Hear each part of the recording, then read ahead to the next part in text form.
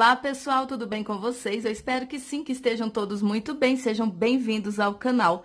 Para quem ainda não me conhece, eu sou a Lori e eu vou fazer aqui hoje essa delícia de sobremesa com vocês.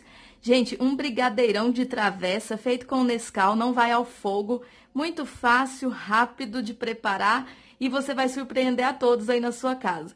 Bora lá preparar essa delícia? Não esquece, se você gostar desse vídeo, dessa receita, clica no botãozinho gostei e deixa aquele joinha que me ajuda bastante.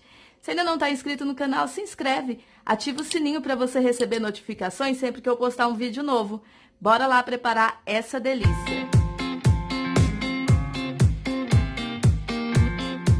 Então aqui, pessoal, nós vamos começar colocando no liquidificador uma caixinha de leite condensado, a caixinha de 395 gramas.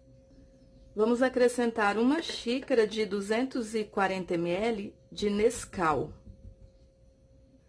Agora, vou colocar duas caixinhas de creme de leite, caixinhas de 200 gramas cada.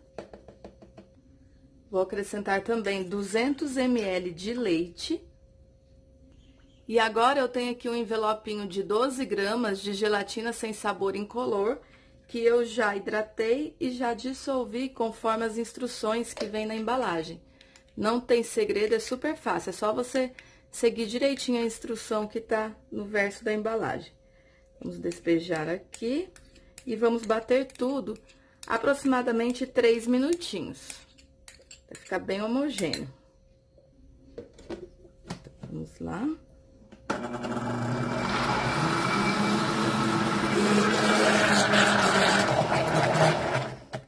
Prontinho. Vou transferir aqui para uma travessa e vou levar para a geladeira, deixar na geladeira aproximadamente três horas, até que fique bem consistente. É na parte baixa da geladeira, tá? Não é no congelador. Então, já já eu volto. Então, pessoal, acabei de retirar a sobremesa da geladeira, já pegou consistência, já tá com uma consistência mais firme. Agora, eu vou espalhar bastante chocolate granulado aqui em cima que é para ficar mais bonita e mais gostosa. Prontinho, pessoal, super fácil, rápido e uma delícia. E não fica tão caro assim, né? Então, eu vou agora ficar degustando essa gostosura, vou tirar um pedaço aqui para vocês verem como ficou a consistência. Eu espero muito que tenham gostado desse vídeo. Não esquece de clicar no botãozinho gostei, deixar para mim aquele joinha que me ajuda muito.